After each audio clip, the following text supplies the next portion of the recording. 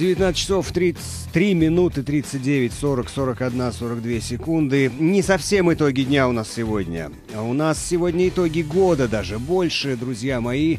Вы слушаете Финам ФМ. Если по радио, то частота 99,6. Если в интернете, то адрес в адресной строке finam.fm. Итак, мы подводим итоги уходящего 2012 года, который был настолько э, как бы это сказать, информационно насыщенным, настолько объемным, что часа нам мало. И мы э, будем э, два часа обсуждать то, что было в текущем году достойно обсуждения. А, в чем еще отличие, кроме того, что мы выходим в эфир на час раньше обычного времени? В студии э, сегодня три человека. Мы будем обсуждать э, события вместе с генеральным директором и главным редактором нашей радиостанции Екатериной Романовой. Добрый вечер, Катя. Добрый вечер. А, и, э, значит, кроме Екатерины, еще два простужных журналиста в студии сегодня. Это Михаил Куриной, он же программный директор. Приветствую, Михаил. Приветствую, ну, коллега. Я, Добрый вечер Илья всем. Колосов, просто Колосов. Сегодня э, буду все это, э, как бы придавать этому форму нашим двум часам. Форму придавать будет необходимо, потому что Uh, у нас 12 тем на, на 2 часа, и нам нужно все это очень мелко порубить для того, чтобы не было uh, несварения у нас потом. Поэтому, господа, значит, я uh, по мере поступления в 2012 году какой-то информации буду ее сейчас озвучивать. А, и э, предлагаю вам вступать в обсуждение того, о чем мы будем говорить. Мы, конечно, будем э, привлекать экспертов, которые э, будут со своими комментариями выступать в нашей радиостанции. Но первая тема, а, собственно, она началась сразу, вот в первый же день, в первый же, в первый же час наступившего 2012 года, тема окончательного вступления в силу того самого закона о милиции и того, что из него следует. Конечно, он был еще в 2011 году принят. А, апрель-май, если я не ошибаюсь. Э, Дума утвердила, потом, значит, президент подписал. Но в 2012 году, в январе, уже э, все это случилось. И надписи «Полиция» появились и на автомобиле. В первую очередь. Ну да. То есть Первые вот... изменения, которые мы все увидели на Ну, фактически никаких уже сомнений не было. Жизни. Да, это произошло. Да, фактически 1 января мы уже проснулись с полицией. С полицией. Почти ровно год назад, да. Я, значит, могу сказать... Конечно, у каждого из нас есть много что на эту тему сообщить. Но, значит, у меня есть конкретный пример. Одно и то же правонарушение было совершено против меня в одиннадцатом году, когда еще не было полиции, а была милиция, и в 12 ровно такое же через год, и в 12 когда уже была полиция. Я вам скажу, разницы нет никакой. Вот просто то же самое бездействие со стороны правоохранительных органов — что было год назад, что было после. Я не знаю, какие у вас впечатления от этих перемен. Я, к счастью, не сталкивалась э, ни с какими правонарушениями ни в отношении себя, ни в отношении моих э, знакомых, друзей, семьи. Но а, то, что запомнилось лично мне э, в течение этого года, это э, недавнее заявление министра внутренних дел Владимира Колокольцева о том, что, цитирую, практически. Работа выстроена таким образом, что каждый факт принципиально рассматривается. Мы ввели принцип персональной ответственности руководителей, и на 26% сократилось количество взяточничеств, и это при нашей позиции не скрывать подобные явления в наших рядах. Считаю это положительным результатом и началом долгой и кропотливой.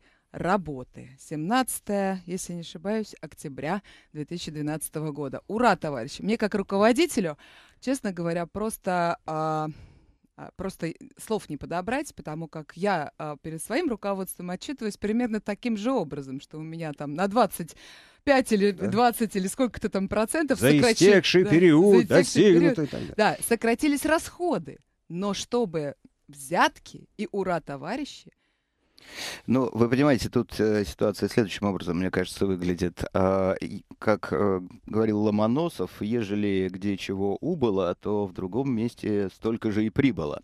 Да, закон сохранения энергии, и в нашем случае это закон сохранения денег. Возможно, взяточничество в процентах стало меньше, то есть физически меньше милиционеров стали попадаться на фактах попадаться. коррупции, но средний размер взятки, скорее всего, вырос. Во всяком случае, в России бывает обычно именно так. И, к сожалению, в три пять раз статистика. Ну вот, пожалуйста. Да. Но я должен сказать, что э, началось-то все еще действительно в 2011 году с принятием закона, а после нее, после вот этого при, приня, принятого закона, если мы вспомним, произошла переаттестация.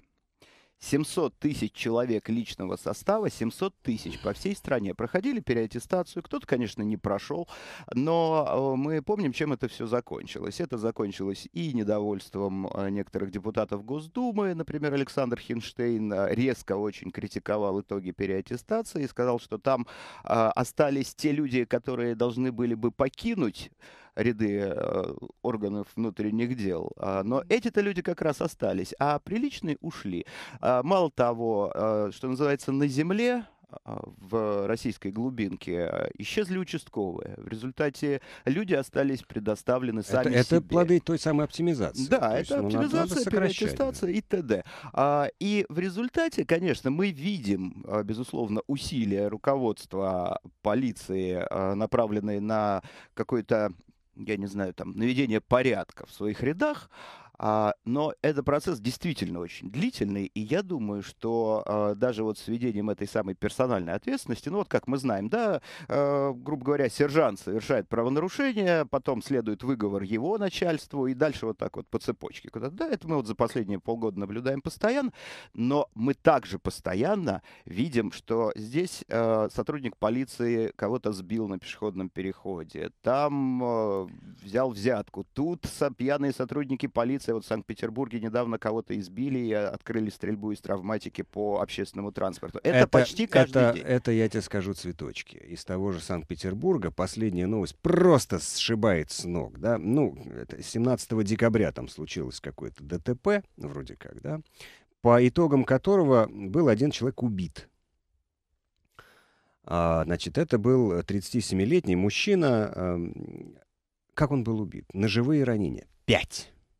А, тот самый случай, Пять ножевых когда ранений. на дороге. Полиция установила, что после ДТП водитель нанес себе пять ударов ножом. В область сердца, по-моему. И поэтому умер. Да. Ну, то есть такого идиотизма, такого да. вопиющего бреда раньше не было. Да. То есть переаттестованные э, способны на гораздо да, большие да, чудеса, да. чем обычные Да, эта история, да, она большой резонанс до сих пор вызывает, по-моему, и в интернете, и в средствах массовой информации.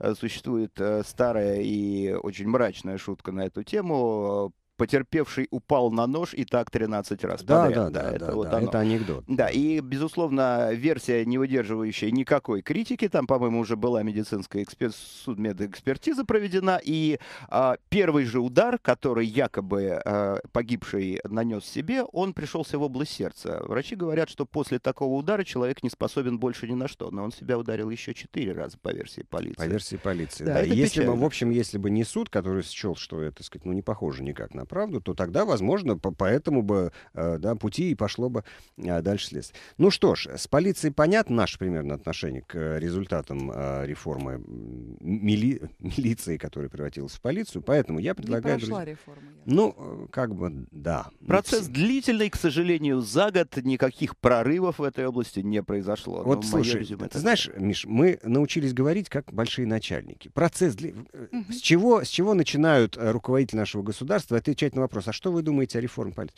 Ну, вы же согласны с тем, что ее надо было начинать? Вот Конечно, ответ. Все согласны. О том, эффективно, неэффективно, что получилось в итоге. Больше все с этим соглашаются, и дальше разговора нет. Мы тоже на этом закончим эту тему. И перейдем к теме, на которую вообще можно говорить нам до Нового года, на самом деле. Но у нас всего 15 минут на нее. Оппозиция. 12 год можно назвать годом оппозиции в нашей стране. А, что можно выделить за а, год уходящий? Ну, а, после декабрьских митингов наступили февральские, знаменитая Болотная. Ни одно из требований Болотной удовлетворено не было. Были еще митинги, дошло до майских после президентских уже выборов. А, был, а было даже совещание, по-моему, в Огареве или в Горках, если вы помните, а, оппозиционеров э, туда привозили, да, снимали телевидение, да. обещали им, сказать, золотые горы. Тоже все сошло на нет после президентских выборов. Можно много а, сказать а, о, а, о том, какие... Был сентябрь.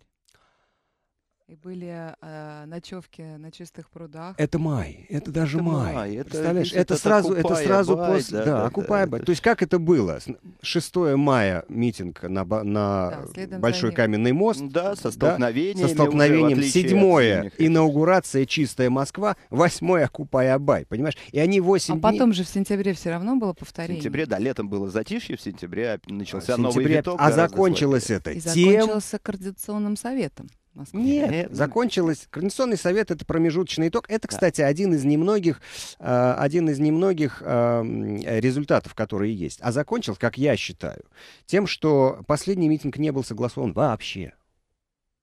Вам ск- сказали всем оппозиционерам, ребят, нет. Вот нет и все. Не знаю, согласен ли со мной Владимир Рыжков, один из, э, наверное, самых ярких оппозиционеров наших. Владимир, добрый вечер. Да, добрый вечер, Илья. Я вот эм, как бы ставлю, э, к большому сожалению, минус на 2012 году в том, что касается эффективности деятельности оппозиции. Вы согласны со мной? А, ну да, в какой-то степени, конечно. Хотя здесь э, я не тот человек, который говорит черное-белое. Жизнь всегда сложнее. Я считаю, что а, за этот год а, произошло громадное совершенно а, громадная активизация гражданского общества, активизация волонтерских а, организаций, а, подъем оппозиционных настроений и падение доверия к власти, и падение поддержки власти. Об этом говорят все социологические центры. Это все связано между собой. Нельзя все мерить только количеством людей на акциях. Все гораздо сложнее. И я со всей определенностью могу сказать, что история работает не на власть, не на Путина. История работает на перемены. И готов с вами поспорить, как говорится, побиться об заклад, что в 2013 году перемены будут в нашей стране еще более серьезными и еще более быстрыми. Что касается м, падения рейтинга, я тут с вами должен, не- вынужден не согласиться, потому что я за этим слежу регулярно, и вот э, те э, опросы общественного мнения, которые проводились разными службами, разными институтами в декабре, говорят все о том же. Значит, э, доверие, рейтинг доверия от 35 до 45, а он так и держится год. Нет, И- Илья, вот просто, видимо, вы смотрите по диагонали, а я смотрю э, немножко поглубже, уж извините. А, буквально вчера а, Лев Гудков, директор Левада-центра, подводил итоги года и сказал, что за последние три года ядро поддержки, это те, кто а, активно и безоговорочно поддерживает Путина и Медведева, сократилось вдвое и продолжает сокращаться. Именно ядро. И об этом же говорит Михаил Дмитриевич в своих докладах. То есть люди, которые искренне и идейно поддерживают власть, сократились вдвое за последние два года и продолжают быстро сокращаться. Все остальное это скорее такие, знаете, нейтрально колеблющиеся люди, которые говорят, ну да, ну пусть будет эта власть, но это уже не те сторонники, на которых можно твердо положиться. Я просто не, не- я сейчас пытаюсь осознать то, что вы сказали, что такое идейно поддерживающий власть. А, это а в, чем, ядро. в чем суть Вы знаете, у идеи каждого власти? политика, у каждого режима есть идейное ядро. То есть люди, которые убежденно поддерживают. Поддерживают, потому что верят. э, Поддерживают, потому что а, убеждены в правильности. Вот таких в России остается все меньше. И даже общий рейтинг доверия сейчас находится на том же уровне, э, что и год назад в декабре. Это Левада-центр, то есть на минимальном уровне. Но это при, при этом то же самое исследование говорит о том, что электорат помолодел в поддержку Путина. ну, знаете, может быть, он и помолодел, но он сокращается. Поэтому власть в этом году сделала все для того, чтобы э, разогнать протестное движение. Э, просто многие люди не готовы драться с ОМОНом, многие люди не готовы платить 600 тысяч рублей штрафа, многие люди не хотят э, сидеть в матросской тишине по сфабрикованным делам. Многие люди просто разочаровались э, в самих э, выходах на улицу, потому что выходили 10 раз за год и ничего не добились. И просто людей трудно очень смотивировать, что давайте выйдем 11 раз, э, глядишь, что-то изменится. Э, Но сокращение людей на улицах не означает, что ушло недовольство. Вот мой тезис. Недовольство продолжает расти. А, Владимир, скажите, а что, по-вашему, может э, вот сподвигнуть людей в наступающем году снова выйти на улицу в хотя бы в тех же количествах, как это было в прошлом Так а может быть декабре? вообще дело не в том, что нужно выходить на улицу. Владимир говорит о том, что А, есть как некий я- ресурс, я- да, под цель. Вот говорю- как мобилизовать этот том, ресурс? Э, Стратегия должна состоять из трех вещей. И не надо все упирать только в улицу, упираться в улицу. Как мы видим, одна только улица дело не решает. А, моя формула такая. Улица, выборы, пропаганда. А, к улице надо добавить активное участие в региональных выборах. Я хочу напомнить, что почти в 70 регионах 8 сентября в следующем году пройдут губернаторские, областные, краевые и местные выборы. Будут выбираться мэры крупных городов и так далее. И вот наша партия РПР Парнас, мы готовимся к этим выборам предметно и серьезно. И бороться за изменения нужно не только э, борясь за шествие внутри Садового кольца, но и по всей стране. И третье – это пропаганда. Это рассказ о том, что делает власть, но самое главное – рассказ о том, что мы предлагаем стране. Какая наша содержательная альтернатива, какой образ будущего есть у нас. И вот если все три э, составляющие мы активно задействуем, то есть улица, выборы и пропаганда, тогда я верю, что будут результаты, будут изменения. Владимир, а какую роль вы Координационному совету в данном случае отводите в следующем году? А, попытка а, Вы знаете, я не участвовал поможет? в выборах Координационного совета, и я не разделяю, э, я слышал часть вашего разговора, о том, что это какое-то важное событие и какая-то важная инстанция. Я не вижу пока этой важности. По-моему, наоборот, э, Координационный совет сузил протестное движение и сузил управление протестным движением. И в частности в нем не участвует ни одна крупная партия, что тоже его ослабляет. Поэтому я вижу Координационный совет просто как один из элементов этой стратегии, как одного из субъектов, но далеко не центрального и не самого главного. Если мы действительно хотим добиться перемен, то коалиция должна быть как, как можно более широкой, как можно более серьезной. Владимир, вы назвали три составляющие успеха, возможного успеха в 2013 году. Да. Перечисляю. Да. Улица, выборы, пропаганда. Идем по да. пунктам. Улица вам не принадлежит, ее контролируют власти, согласовав или не согласовав э, тот или иной митинг. Выборы. Вы сами говорили о муниципальном фильтре. Да не допустят вас. Да. Есть рычаги, правильно? Второй тоже вычеркиваем. Да. Пропаганда. Слушайте, вы хотите против пушек федеральных телеканалов что-то выставить, что ли? Илья, вы знаете, э, это вопрос же морального выбора. Вот э, вы видели наверняка фильм «300 спартанцев» Зака Снайдера, да? Э, там ведь тоже у них не было шансов. Там против них была 300-тысячная армия сердца, а их было 300 спартанцев. И они два дня держали этот проход. Потом их всех убили. Понимаете? Но они делали то, что должны делать. Да, на улице они могут арестовать, э, сделать провокацию, всех задавить куда-то и так далее. Да, на выборах они все могут сфальсифицировать. Я в этом убедился в Барнауле и Саратове, где возглавлял два списка в октябре. Да, в пропаганде у нас очень слабые возможности, это интернет и несколько радиостанций. Но делать-то все равно надо. Если, понимаете, под лежачий камень вода не течет. Если мы просто скажем, ну, на улицах не получается, на выборах не получается, пропаганда у нас не получается, ну, тогда что, повеситься и умереть? Ну, смешно. Поэтому, наоборот, я считаю, что сейчас есть достаточно уже сил в гражданском обществе среди активистов, чтобы на каждом из этих направлений добиваться продвижения. Их надо, этого надо сбиваться. Спасибо большое. Владимир Рыжков, сопредседатель РПР «Парнас». Мы заканчиваем тему оппозиции в 2012 году и переходим потихонечку к следующей, которая, в общем, тоже перекликается с только что обсужденной нами. А, я предлагаю, друзья мои, вот о чем поговорить. Три важнейших э, волеизъявления э, граждан произошли в мире в 2012 году. А. Президентские выборы в Российской Федерации. Б. Президентские выборы во Французской Республике. И В. В Соединенных Штатах Америки. Три крупнейших государства. Э, каждое по-своему показали, как это может быть и к каким последствиям это может привести. Вот навскидку, друзья мои, ваши эмоциональные впечатления от трех этих событий? Ну, как минимум, они отличаются друг от друга. Ну, как минимум страной, да? Как минимум страной. И, а, языком волеизъявления. Языком волеизъявления, кандидатами, которые соревновались в этих а, выборах. Ну и, соответственно, как минимум, они отличаются процессом. Ну, э, давайте сравним э, такую деталь. Э, это, собственно, даже не выборы, а процедура инаугурации. А вот то, что О. запомнили все. Вот вы знаете, а, когда Владимир Пу- Путин а, вступал в должность президента, э, вся эта торжественная церемония началась со знаменитого проезда президентского кортежа по улицам Москвы. Особенно впечатляла вот эта панорама уже около Кремля, когда не было заметно ни одного человека и даже, как мне показалось, ни одной пролетающей птицы, пока ехал кортеж. А, а вот Франсуа Оланд, когда вступал в должность, он ехал а, не на Мерседесе, а на автомобиле марки Citroën, а он двигался в общем потоке и останавливался на всех светофорах. Представляю я Это- Путина Влади. Это такая, ну, нет, Это можно в сейчас разрабатывают новый, э, да, э, лимузин.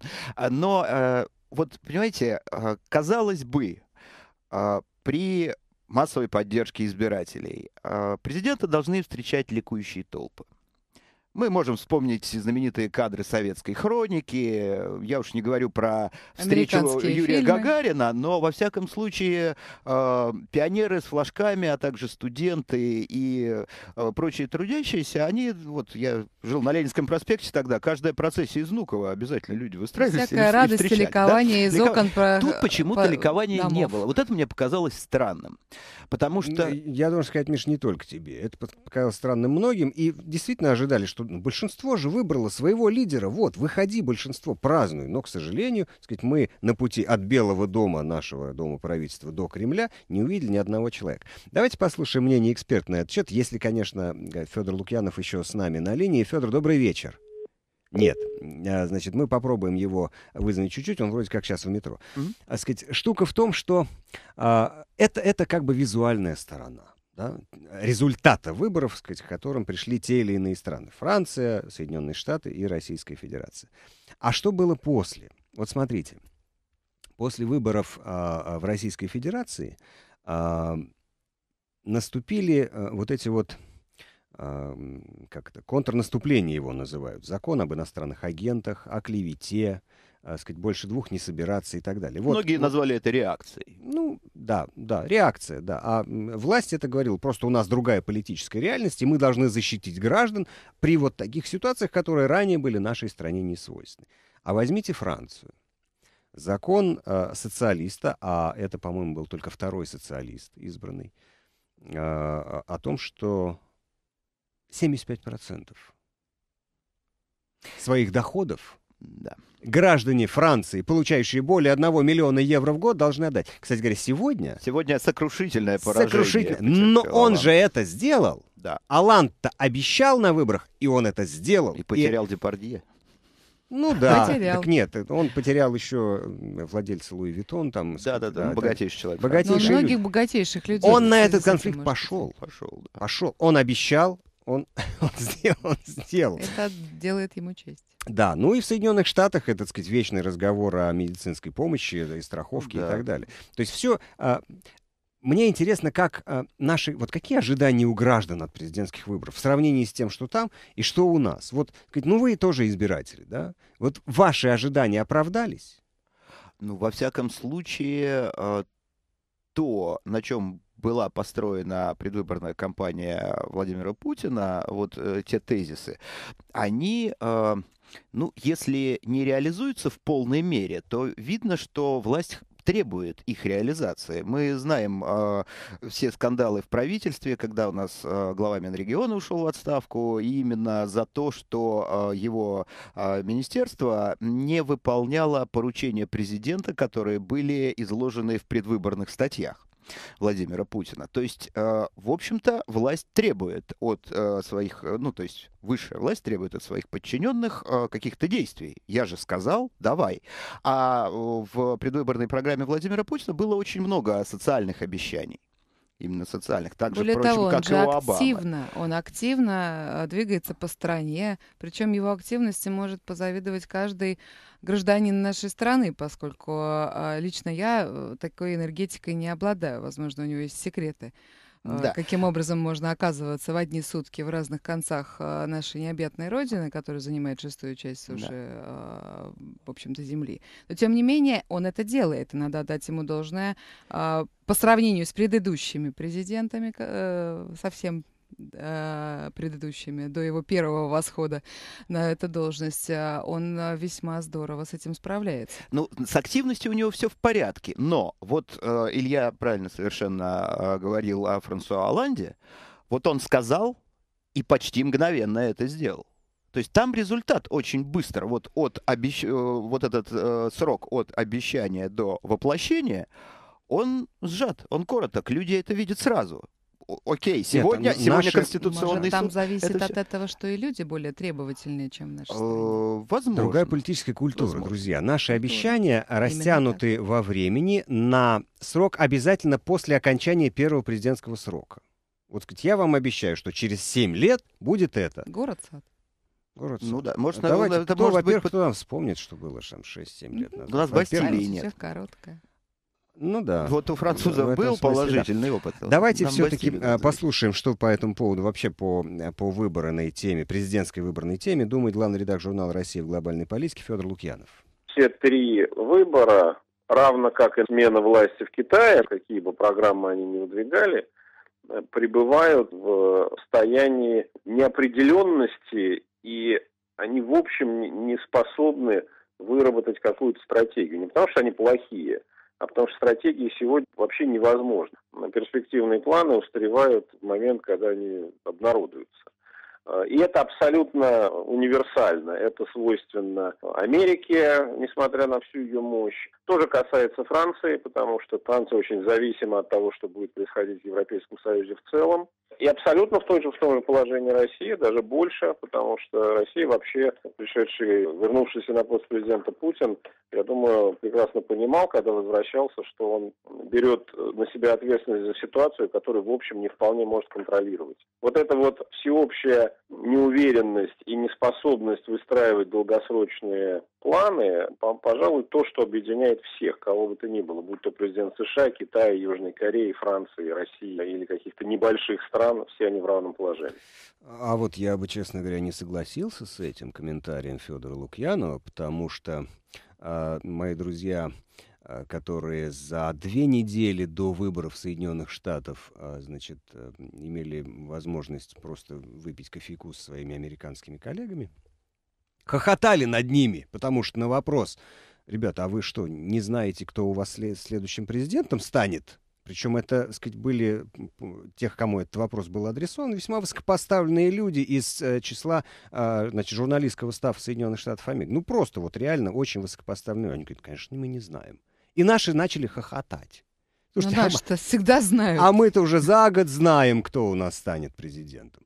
Поэтому, что касается неопределенности на будущее, ну, возможно, это касается Соединенных Штатов Америки с их несовершенной демократической системой. Или Франции, где они тоже не знают, сказать, во втором туре победит Николя Саркози или Франсуа Олланд. А мы-то знаем заранее и теми действиями, которые президент Российской Федерации, а, по его мнению, удерживает ситуацию, это те все самые законы, да, по, э, сказать, по стабилизации ситуации, политической ситуации в России.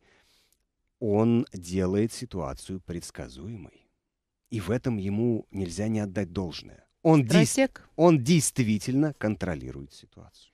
А при этом э, президенты или будущие президенты э, Америки становятся ближе к народу, потому как каждый из них ездит по штатам, каждый из них, из кандидатов, э, общается с народом, рассказывает, что он хочет сделать, как он это хочет сделать, и э, используют не только наземные виды транспорта, но и электронные. Ходят в сети, рассказывают там и собирают те самые пресловутые клики, твиты, лайки и все, что э, можно взять для того, чтобы предугадать, посчитать и сделать какой-то прогноз э, для себя самому, где мне нужно еще подсуетиться, в каком штате мне нужно поработать активнее и какую часть электората на себя сманить э, на свою сторону, на свою программу. И там вот действительно видна борьба, как мне кажется. Э, ну, другая политическая культура. С этой точки зрения у нас все действительно гораздо стабильнее. И вот именно стабильность э, это, это главный постулат э, и Владимира Путина, и нашей власти в последние уже 12 лет.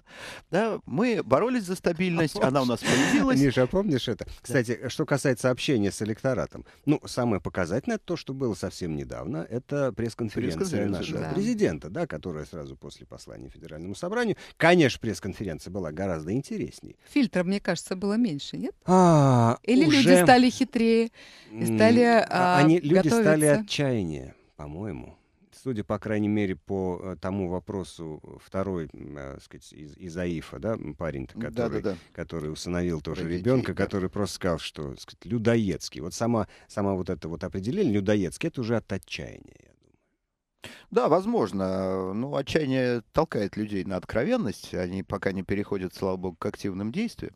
А может быть, и не слава богу, я не знаю. Что касается Но стабили- говорить уже начинают. Прости, я тебя опять перебью. Я вспомнил, что я хотел сказать, что ты говоришь о стабильности, как Да. сказать, главный довод, помимо, э, значит, рождаемости, да, что еще у нас у власти хорошо получается, это стабильность. Да. И когда а, президенту корреспондент Первого канала, не больше, не меньше, задал вопрос о нашей судебной системе, какова она.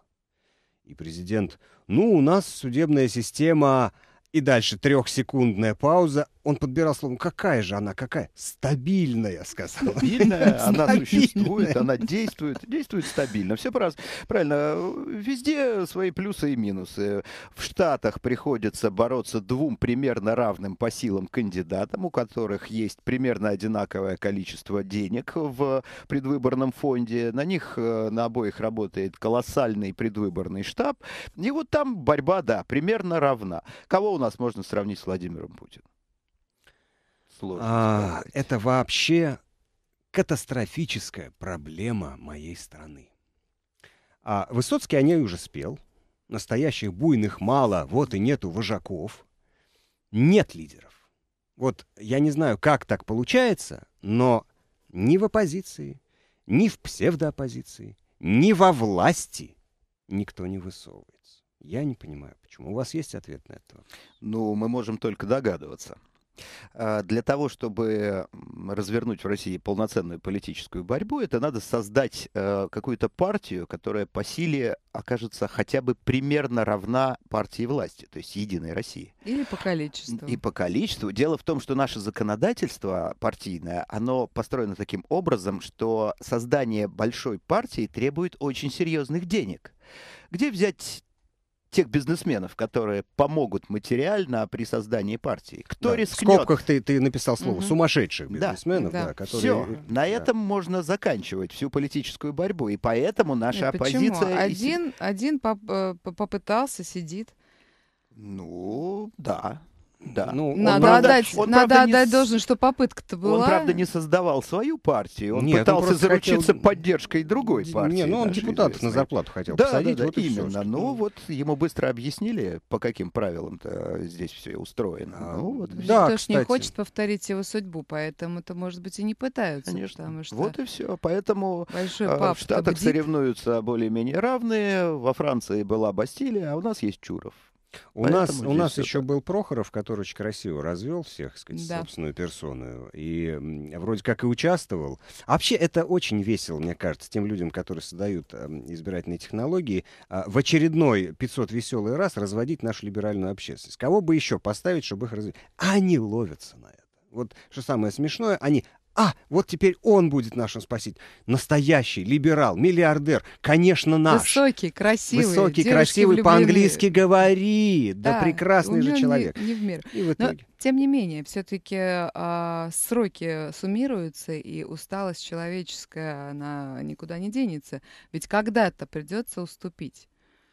Когда-то придется, но а, те действия, которые предпринимает наша власть, а, как мне кажется, они а, направлены на постоянную невротизацию населения.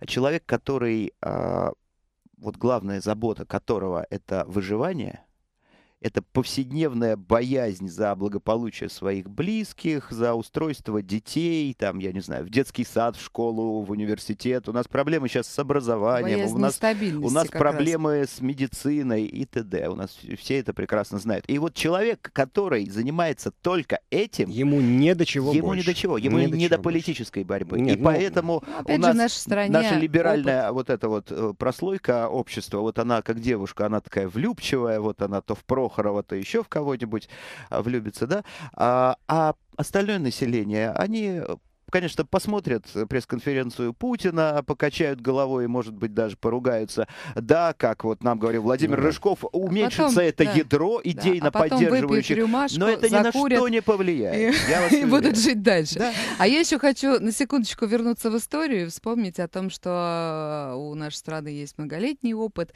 многолетних, 20 и более летних сроков, э, ну, не президентства, так руководства нашей страной. А известно, как история э, ходит по спирали, поэтому как знать. Ну, Романовы 300 лет сидели и даже да. больше.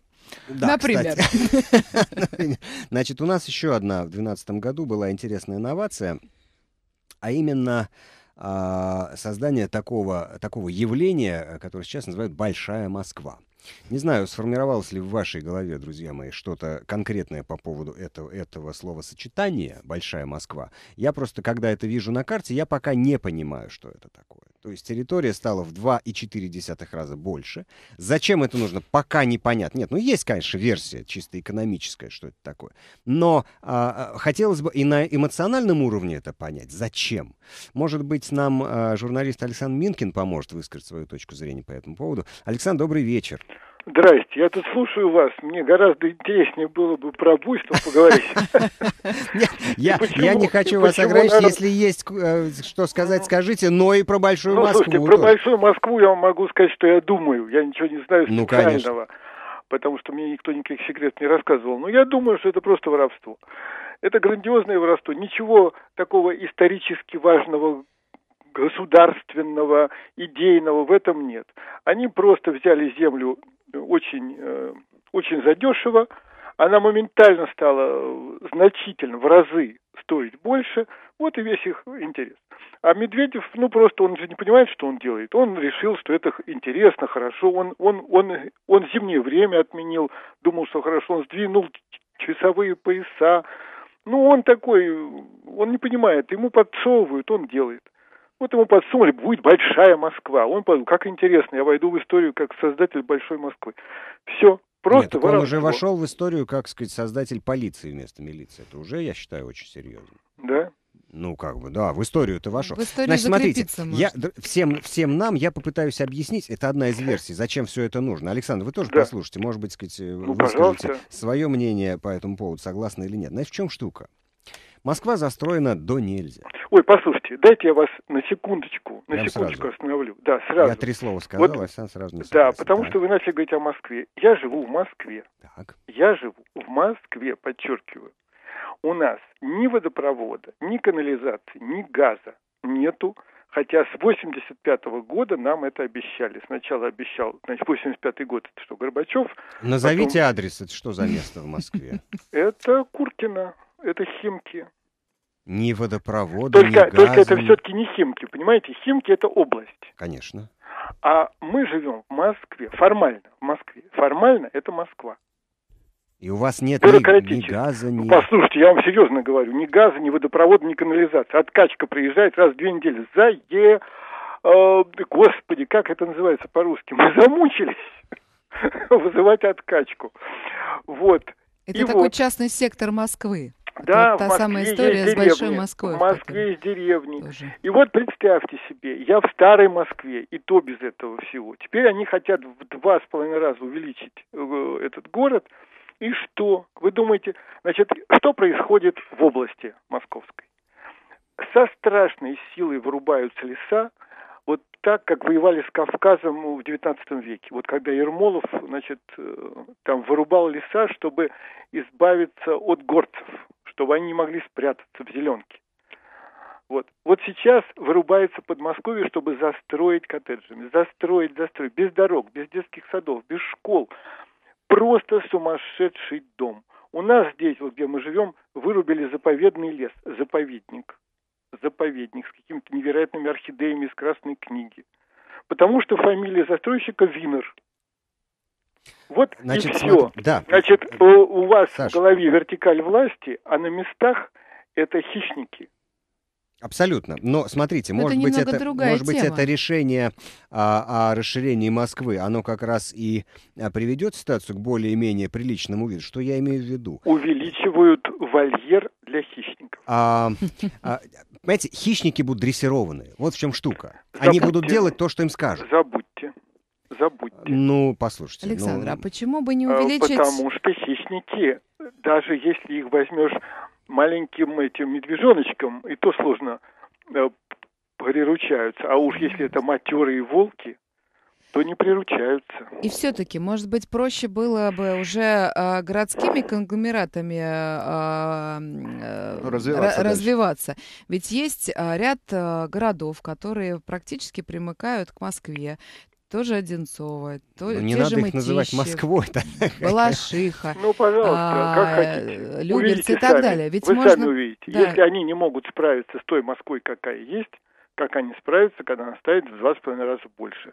Что касается, все-таки мне ужасно хотелось бы высказаться по поводу вот того, о чем вы говорили, когда я вас слушал. Так. А, смотрите, люди, когда вы говорите, вот они боятся за будущее, та-та-та, люди были менее обеспечены в 90-м году, но они выходили на улицу по 800 тысяч, а то и по миллиону в Москве. А, Сколь- что же- Сколько раз, Александр? Несколько. Достаточно, чтобы сделать погоду политическую. Вот. Дальше. Радикальные изменения по сравнению с прежними временами в том, что сегодня люди сидят дома и получают все дома. Уже, вот если в Афинах во времена там, я не знаю, Ликурга, Перикла и э, в Москве во времена Ленина или в Петербурге, чтобы что-то узнать, нужно было пойти на площадь. На дом ничего не приносили. Радио не было, телевизора не было, интернета не было. Мужик, если он что-то хотел узнать, он шел на площадь, там лускал семечки и слушал. Сегодня доставлено все на дом. И сегодня а, оторвать человека, который вырос приросшим к дивану, он вырос уже на диване. Ему все доставляется. Авария самолета, вот тебе на дом. Вот эти митинги, вот тебе на дом. Утрачено, эм, поэтому так трудно поднять людей. Прохоров ли, не Прохоров ли, они могут им интересоваться, глядя в телевизор или в интернет. Но на улицу пойти, это совсем другая история. В свое время Явлинский, когда там обделяли их комитетами в Думе, я помню, как он сказал, еще яблоко было в Думе. Явлинский сказал, за нами что-то такое, что ли, 4 миллиона, он сказал, имею в виду избирателей. Избирателей, которые проголосовали эм, за партию Яблоко. Я тогда написал, вы извините, 4 миллиона опустившие бумажки в урну, это одна история. А 4 миллиона, которые за вами выйдут на площадь на штыки, нету. Даже и 500 не найдется. Это правда, это правда. Таких э, мы не найдем. Такими цифрами уже давно наша политическая действительность не оперирует. Значит, что касается Большой Москвы, все-таки скажу, почему это все сделано. Буквально 30 секунд, друзья, и тему мы за- закрываем. Все застроено. Машина, строительная машина условная большая, да, она все равно есть. Она остановилась Нет. внутри Вот, Москвы. Ну да, вот дальше перспектив развития нет. А эта машина должна куда-то ехать, иначе она рассыпется, заржавеет. Говорит, вот а, то, что мы огромный еще кусок, а, размером с целую Москву и даже больше, назвали Москвой и сказали, что здесь это будет, и это Москва, и здесь все дороже. Этот океан денег вы можете нырнуть вот сюда, рядом бассейн, он тоже называется Москва. Это дает новый импульс развития нашему городу. Так, по крайней мере, считают. Тем К не этому менее, стремятся. Тем не менее, в мэрии заявили, что территория, которая включает в себя 75 тысяч гектаров лесного массива, а, по постановлению, принятому той самой мэрии, останется а, охраняемой зеленой Ну, территорией. слушайте, это, конечно, все прекрасно. Все эти обещания, все эти намерения и т.д. А, смотрите, что произошло. У нас а, вымерла деревня. Можно отъехать 100 и дальше километров от Москвы и обнаружить просто уже фактически исчезнувшие деревни. Там, а, где еще вчера детские голоса были слышны буквально 10 лет назад, сейчас остается там по 2-3 жилых дома. Это все уничтожено, малые города не развиваются, но зато все стремятся в Москву. Так все. При- причем не только с- из России, да, не только наши граждане, но, как мы знаем, и вся Средняя Азия, Закавказье и т.д. А, Мы до каких пределов пределов будем увеличивать Москву, она Да, да, в нее войдет потом Смоленская Российской область, Федерации. Рязанская, Тульская. И в результате Москва будет проходить по границе Москвы, вот МКАД у нас будет на границе с Украиной. Мы когда-нибудь туда Конечно. упремся. У меня такое впечатление. Да, Почему до бы и нет? Владивостока. У нас Ну, есть а? Ну, японский ж. пример. Ну, есть к чему стремиться. У меня других комментариев нет. А, Значит, смотрите, вот что еще хотелось бы успеть обсудить. А, Трагедия, которая случилась в а, июле. Краснодарский край. Наводнение. Погибли, по официальным данным, 171 человек. А, Это случилось буквально все за одну ночь. А, Никто до сих пор не может точно сказать, почему. Да, осадки были там за, а за одну ночь, за несколько часов. Трех-пятимесячные осадки, нам говорят. Но семиметровая волна, по мнению некоторых экспертов, не, мо- не могла возникнуть ни от каких осадков, потому что тогда просто должны были разверзнуться хляби небесные, и просто, вот сказать, вся сплошным потоком это должно было сверху на нас ринуться. И до сих пор существует подозрение в том, что где а, были какие-то спуски воды из э, Неберджаевского водохранилища. Я а, эту тему обсуждал много раз.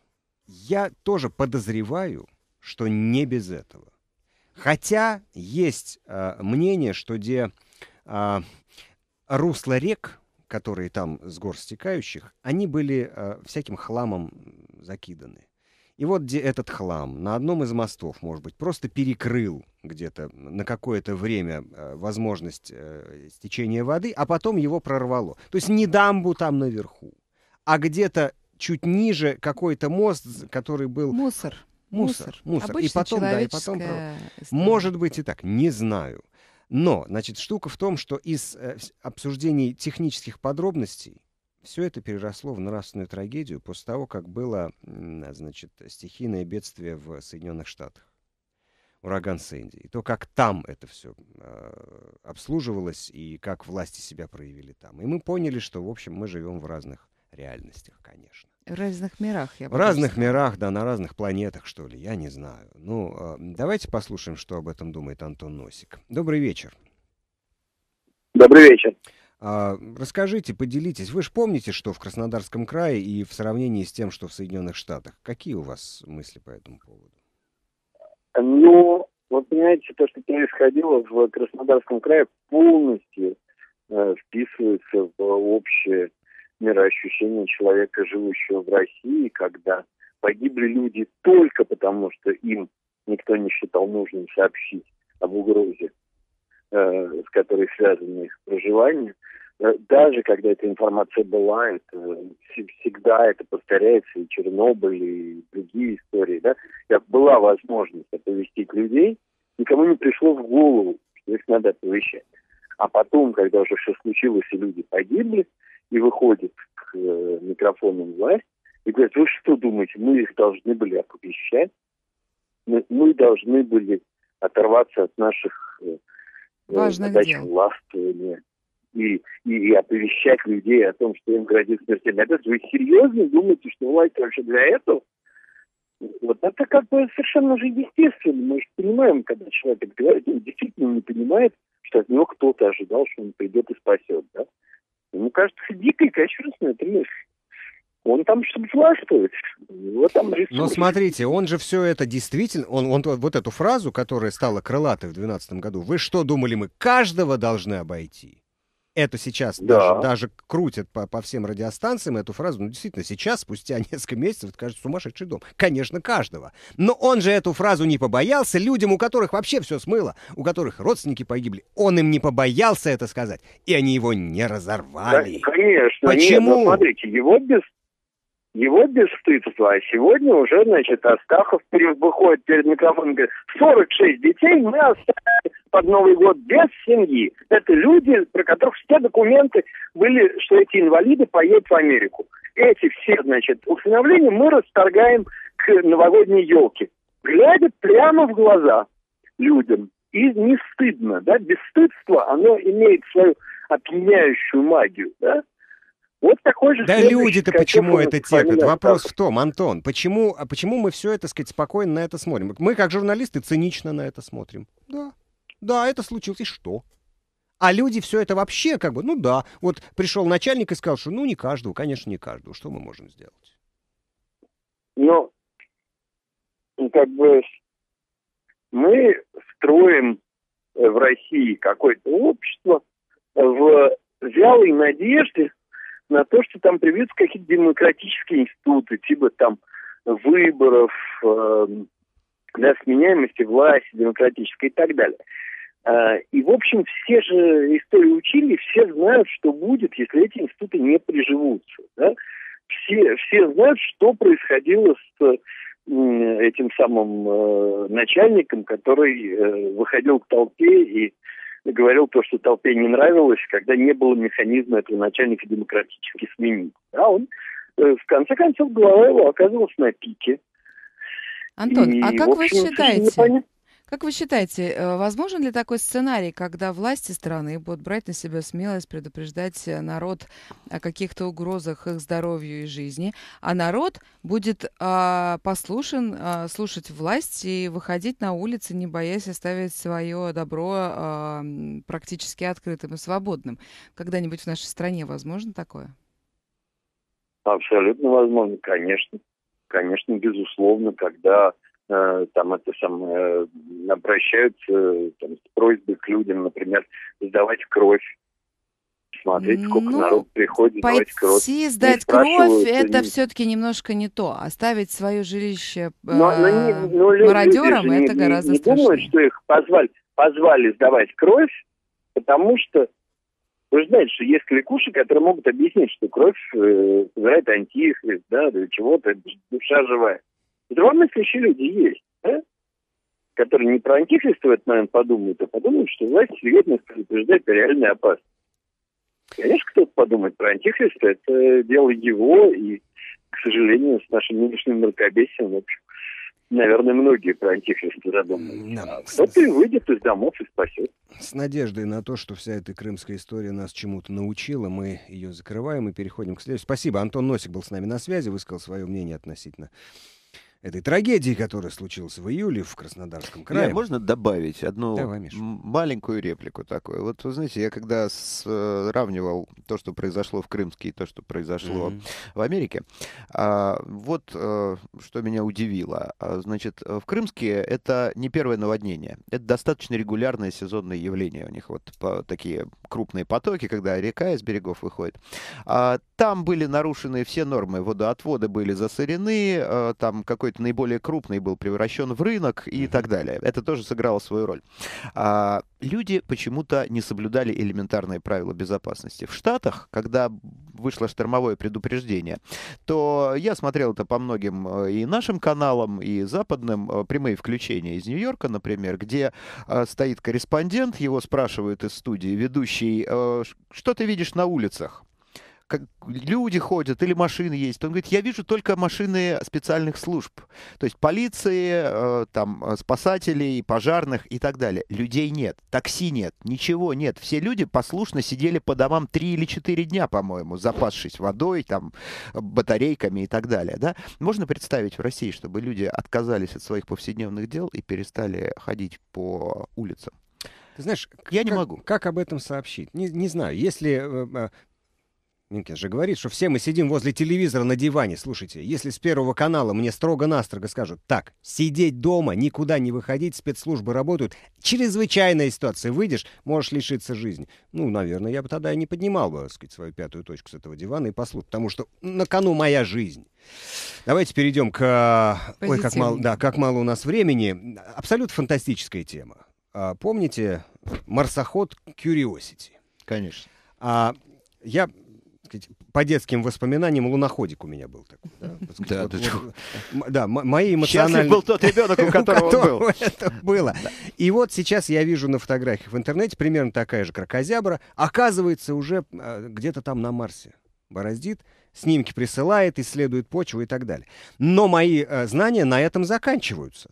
А я хотел бы знать действительно, каков масштаб этого, этого события. А, Юрий Юрьевич Караш у нас а, на связи, и он нам расскажет, что это такое за марсоход. Здравствуйте, Юрий Юрьевич. Э, добрый вечер. Э, ну, вы знаете, масштаб события действительно э, очень и очень э, значительный. Кстати, ваша параллель с луноходом достаточно обоснована. Луноход, он всего лишь на 50 килограммов весит меньше Curiosity. Curiosity, он по своему размеру с мини-купера и весит почти 900 килограммов. Вот луноход 2 в 1973 году прошел по поверхности Луны 7, 37 километров. Curiosity пока, пока прошел только 600 с небольшим метров. Но с учетом того, что э, у него э, плутониевая э, коробочка с ланчем, если можно так выразиться, которая... Ему э, есть чем подкрепиться. Да, в течение 20 лет. Так что он может, вы знаете, пройти и 100 километров. Да вы что? То есть он на такую да, длительность рассчитан? Я-то думал, что он да, ну, скоро конечно. батарейка сядет. Я просто знаю, что конечно. у него нет солнечной батареи. Он действительно питается от того, что в него вставлено сейчас. Да, но вы знаете, это ядерное питание, это плутоний-238, его должно хватить лет на 20. То есть эта машина, она очень хорошо, очень прочно, очень надежно сделана. И у нее есть все шансы, как я уже сказал, э, проехать очень э, далеко. Ну, хотя ее средняя скорость 90 метров в час. И пока он еще совершает такие короткие пробежки, проверяет, как у него там руки-ноги работают. Ну, под ногами я, конечно, имею в виду колеса, под руками и манипуляторы. Но пока все очень хорошо, тьфу-тьфу-тьфу. И будем надеяться, что curiosity, который переводится как любопытство, вы знаете, это... Э, я не любопытство, знаете, давайте скажем любознательность. Любопытство это подглядывать в замочную скважину, а вот любознательность это узнавать новое. Вот значит, что я очень надеюсь, что действительно Curiosity сможет нашу любознательность удовлетворить. Спасибо вам большое. Юрий Караш, член-корреспондент Российской Академии космонавтики имени Циолковского. Он э, э, со своих э, высот познания в космическом мире рассказал нам о том, что такое э, вот этот марсоход Curiosity и э, для меня было открыто, что он на 20 лет рассчитан, ей-богу. Это, это, представляете, как интересно? Нет, ну это он, очень серьезно, конечно. еще 20 лет да. и присылать фотографии. Да, э, великолепное совершенно событие года. Я считаю, одно из самых позитивных. Особенно, а, опять же, вот не хочется проводить таких сравнений с, на, с нашими реалиями. Да, у нас ракеты плохо летают, а вот этот вот долетел и теперь по Марсу а, ездит. И на 20 лет перспектив. И на 20 лет перспектив. Так, прерываемся на новости. После них опять продолжаем подводить итоги 2012 2019 года.